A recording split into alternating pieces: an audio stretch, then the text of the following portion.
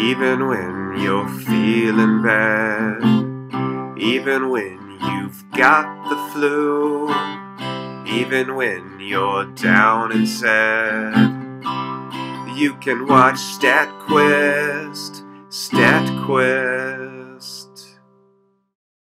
Hello, and welcome to StatQuest. StatQuest is brought to you by the friendly folks in the genetics department at the University of North Carolina at Chapel Hill. Today, we're going to do an introduction to RNA-seq.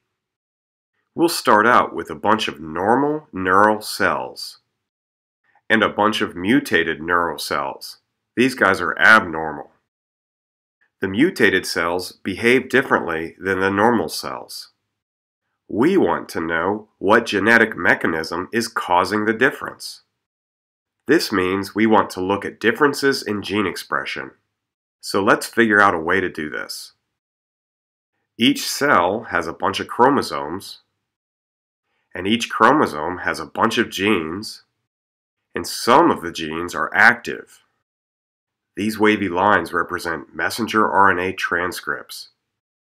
But this gene is not active.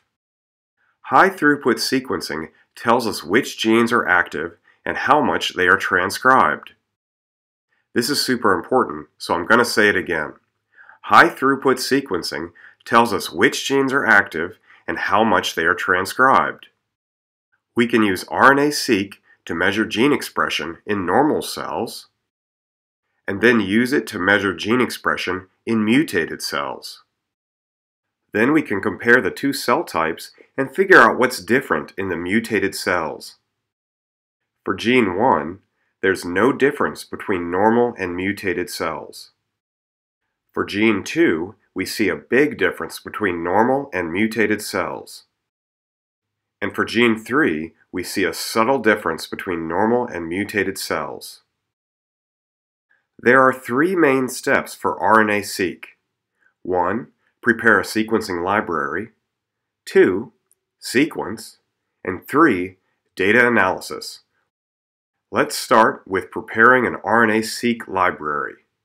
Note, I'm using the Illumina protocol and sequencer as my example because they are commonly used, but keep in mind there are other protocols and sequencers that do it differently. Step 1. Isolate the RNA. Step 2. Break the RNA into small fragments. We do this because RNA transcripts can be thousands of bases long, but the sequencing machine can only sequence short, 200 to 300 base pair, fragments. Step 3. Convert the RNA fragments into double-stranded DNA. Double-stranded DNA is more stable than RNA and can be easily amplified and modified. This leads us to the next step. Step 4. Add sequencing adapters. The adapters do two things. One, they allow the sequencing machine to recognize the fragments. Two, they allow you to sequence different samples at the same time, since different samples can use different adapters. This helps you save time and money. Notice that this step doesn't work 100% of the time. There are a couple of DNA fragments that didn't get sequencing adapters. In step 5, we PCR amplify the library. Only the fragments with sequencing adapters are amplified. They are enriched. Step 6 is quality control. You verify the library concentration and you also verify the library fragment lengths to make sure they're not too long or too short. Hooray! Now we sequence the library. Let's see how this is done. Imagine this is a fragment of DNA we want to sequence. It's vertical because that's how it is inside the sequencer. Actually, there are about 400 million fragments laid out vertically in a grid. I'm just showing you four fragments so your brain doesn't explode. This grid is called a flow cell.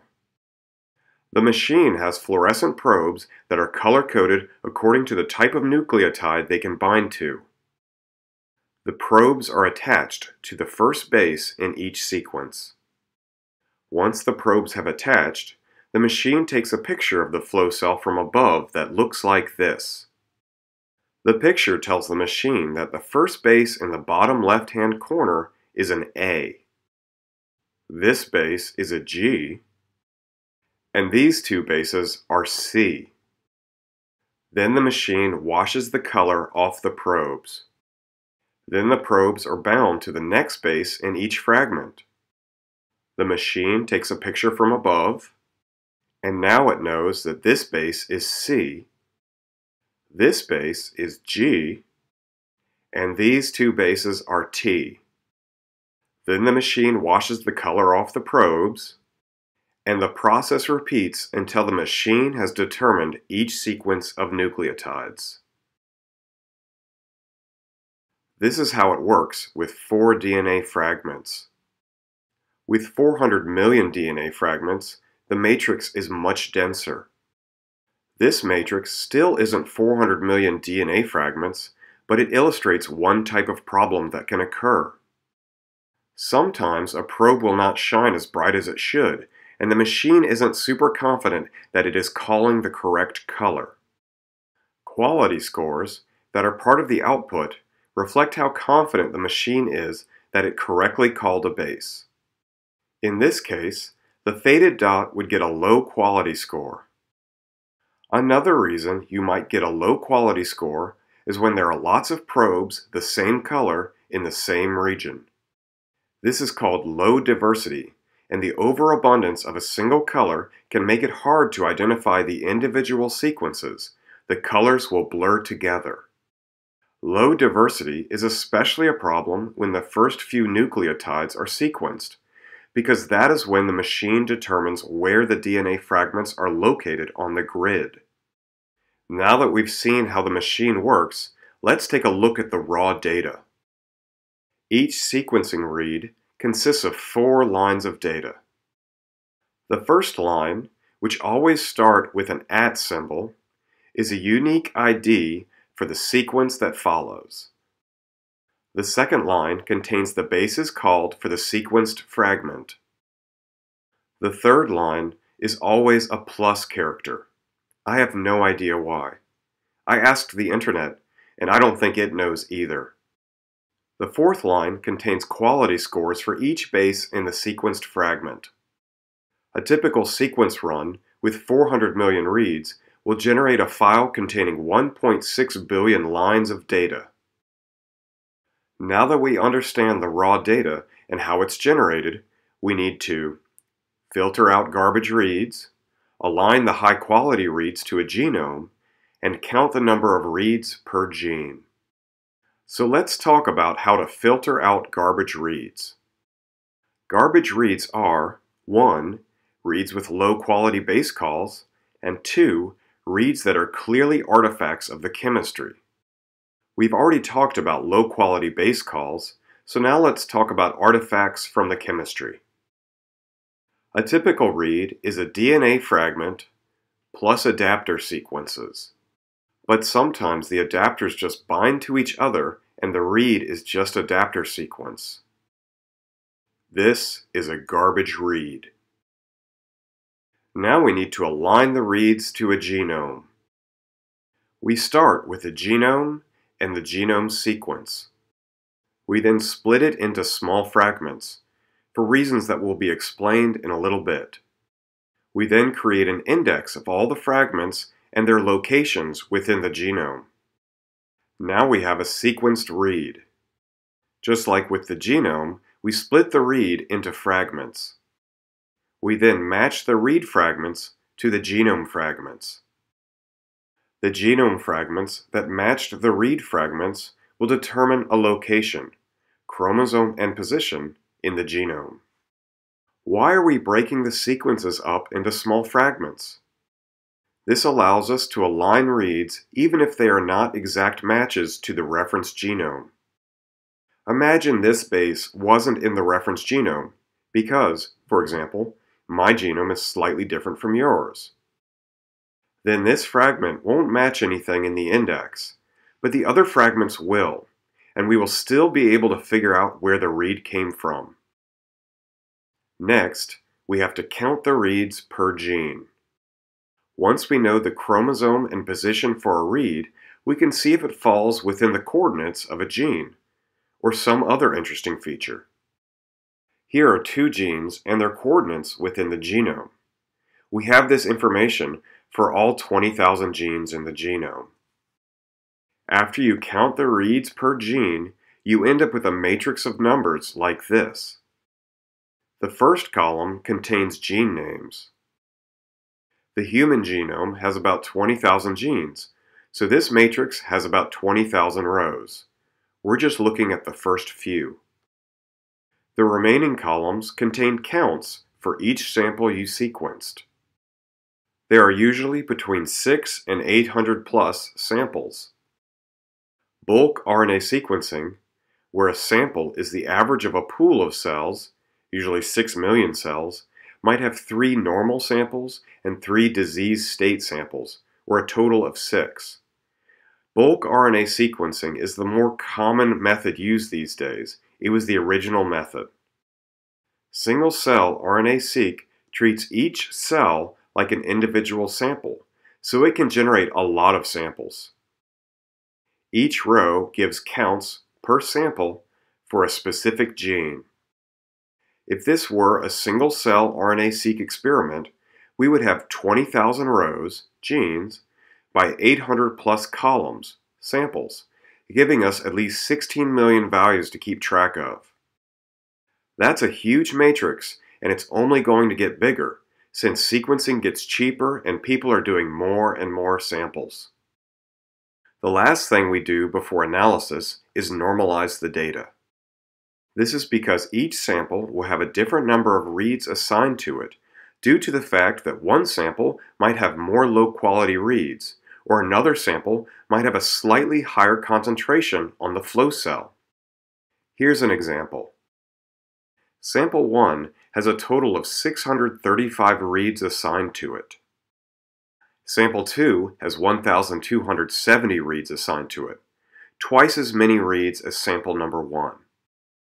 This does not mean that the genes in sample number 2 were all transcribed twice as much as in sample number 1. Instead, it means that sample number 2 had fewer low-quality reads and might have landed on more spots on the flow cell than sample number 1. However, the read counts make it look like the genes in sample number 2 were transcribed twice as much as in sample number 1. So we need to adjust the read counts per gene to reflect the differences in how many reads were assigned to each sample. The simplest method is to just divide the read counts per gene by the total mapped to each sample. However, there are many more sophisticated ways to do this. For more details, check out the videos in my high throughput sequencing playlist. We started out with a bunch of normal neural cells and a bunch of mutated neural cells. Then we extracted the messenger RNA. Then we sequenced, aligned, counted the reads per gene in each sample, and normalized. Now it's time to analyze the data. Step 1 in any analysis is always the same. Plot the data. Remember, the data is a huge matrix. If there were only two genes, then plotting the data would be easy. First, we'd replace the gene names with X and Y. And then just plot the samples on an XY graph. Sample number 1 would go at x equals 30 and y equals 24. Sample number 2 would go at x equals 5 and y equals 10. And sample number 3 would go at x equals 13 and y equals 18. But we have 20,000 genes. So we would need a graph with 20,000 axes to plot the raw data. So we use PCA, Principal Component Analysis, or something like it, to plot this data. PCA reduces the number of axes you need to display the important aspects of the data. This is a PCA plot from a real RNA-seq experiment done on neural cells. The WT samples are normal. The KO samples are samples that were mutated by the researchers. The KO samples make a nice little cluster in the corner. The WT samples are all on the left side, but spread out on the y-axis. The way these graphs are drawn, the most important differences are on the x-axis. Differences along the y-axis are not as important. This means that the biggest differences are between the WT samples and the KO samples. However, when we do further analyses, we may wish to exclude WT2. Excessive self-promotion. If you want to learn more about how PCA does what it does, check out StatQuest, Principal Component Analysis, PCA, clearly explained. This is a single-cell RNA-seq PCA plot from neural cells. The colors were added based on what we know about the cells. The green cells were stationary, and the orange cells moved around the petri dish. Most of the orange cells are separated from the green cells. However, there are a few orange cells that seem more like the green cells. If we want to determine what is different between these cells and these cells, we might exclude these cells from the analysis. In summary, plotting the data, 1. tells us if we can expect to find interesting differences, and 2. tells us if we should exclude some samples from any downstream analysis. Now we're ready for step 2 in our analysis, identify differentially expressed genes between the normal and mutant samples. This is typically done using R, a programming language, with either EdgeR or DESeq2, and the results are generally displayed using this sort of graph. A red dot is a gene that is different between normal and mutant samples. Black dots are genes that are the same. The x-axis tells you how much each gene is transcribed. CPM stands for counts per million and is a type of normalization. Genes on the left side are lowly transcribed, and genes on the right side are highly transcribed. The y-axis tells you how big the relative difference is between normal and mutant. Log FC equals the log of the fold change between the two sample types. We've identified interesting genes. Now what? If you know what you're looking for, you can see if the experiment validated your hypothesis. If you don't know what you're looking for, you can see if certain pathways are enriched in either the normal or mutant gene sets. And then what? Check out the other videos on StatQuest. You'll find complete tutorials on all kinds of stuff related to RNA-seq. PCA, heat maps, p-values, false discovery rates, etc. All kinds of stuff. Hooray! We've made it to the end of another exciting stat quest. If you like this stat quest and want to see more of them, please subscribe. And if you have any suggestions for a subject you'd like to see a stat quest on, post it in the comments below. Alright, tune in next time for another exciting stat quest.